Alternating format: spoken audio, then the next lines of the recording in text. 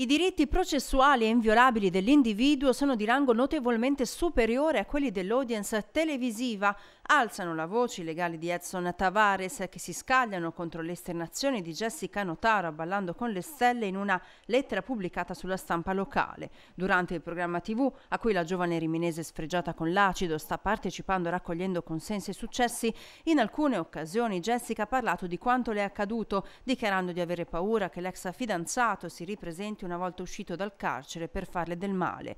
Tavares è stato condannato in primo grado per l'aggressione con l'acido e per stalking per una pena totale di 18 anni, ma sottolineano gli avvocati Riccardo Luzzi e Alessandro Pinzari, ci sono ancora due gradi di giudizio da affrontare che potrebbero portare ad altri esiti. Per questo sostengono che le parole della Riminese portino a un coinvolgimento emotivo pubblico e un naturale influenzamento giudiziario a cui Tavares non può rispondere dal carcere.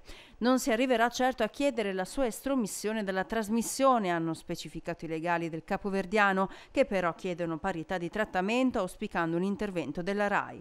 E per Jessica Notaro hanno un consiglio piccato, dovrebbe apprezzare le sue nuove e meritate opportunità professionali, scrivono, evitando la commissione tra spettacolo e vicenda giudiziaria. La replica dei legali della donna non si è fatta attendere, pensare che i giudici possano essere influenzati da un programma TV non non ci pare la miglior forma di rispetto nei confronti dell'autorità giudiziaria.